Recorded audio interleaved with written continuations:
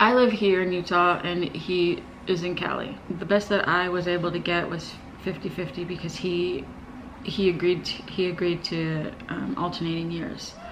He would get them a school year, I would get them a school year.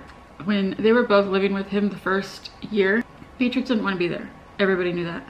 Forrest was okay. It's his dad, and um, his dad has always treated him really good.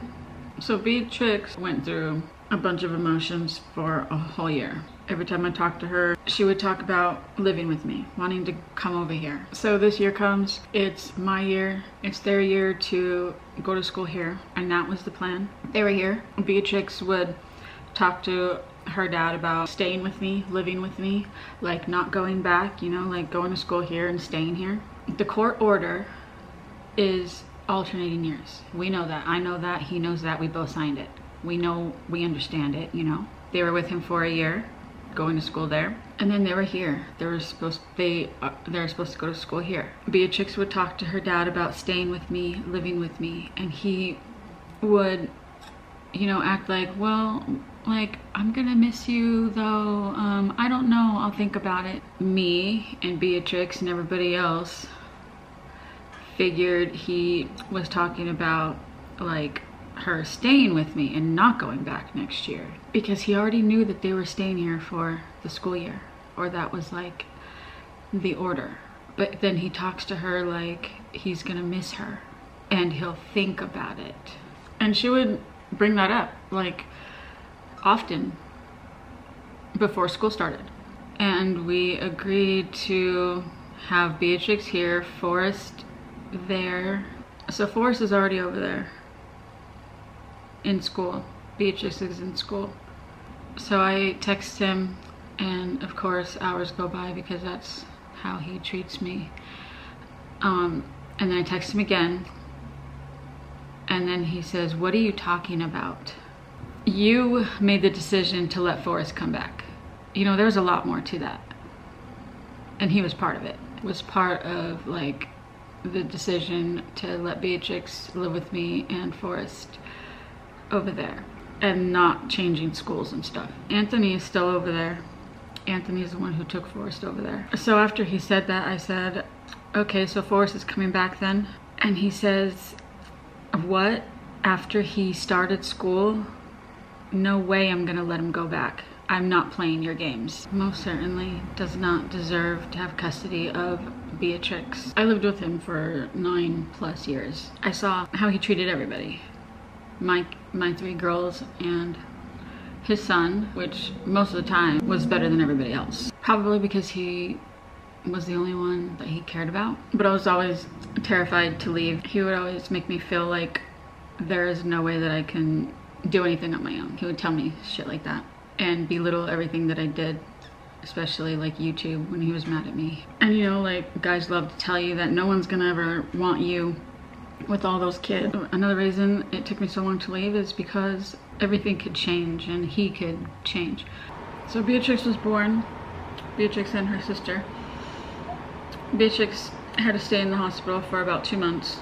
He would go see her as often as he could. I would cry like every day because she wasn't home with me.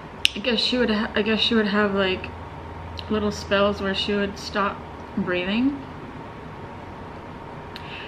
And I guess like the nurses and doctors would have to I don't know what they would do to like wake her up. So there'd be times where maybe I would like ask my ex to hold her like because I I don't know I needed to do something. I was or I was resting or I don't know. But every time that he would be holding her and not in my sight all of a sudden I would hear Beatrix screaming at the top of her lungs screaming. She was an infant. Every time every single time he would have her in his arms she would start screaming like if you like say like, like you dropped them or something. Or like they got a shot.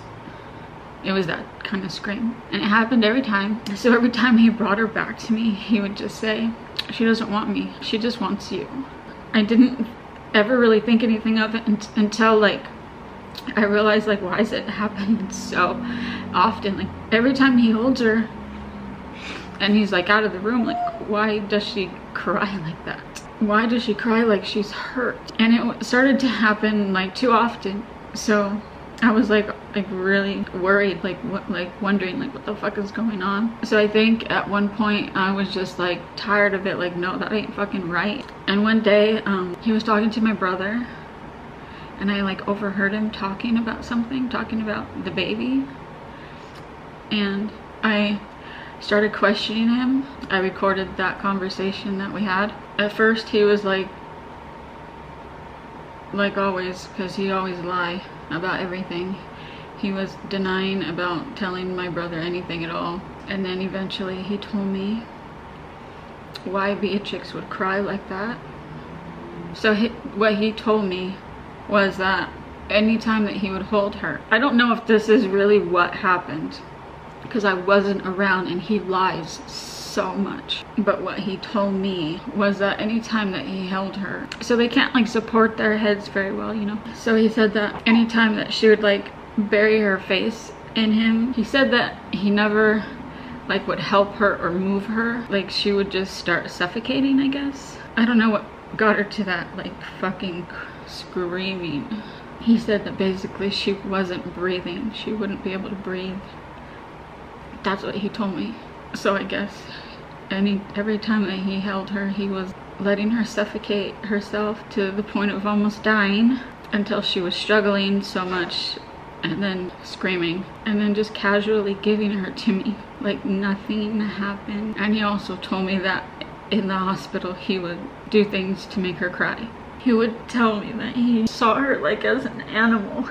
Like she wasn't even human to him and also that when he'd be holding her he would just want to just drop her. He never even fucking liked her. He never treated his son like that, ever. His son never cried like that. The things that he told me, I'll never, ever get over. And I'll never, ever, ever forgive him for. I believe that he only wants her there just because she doesn't want to be. And he knows that he's fucking with my life and hurting me.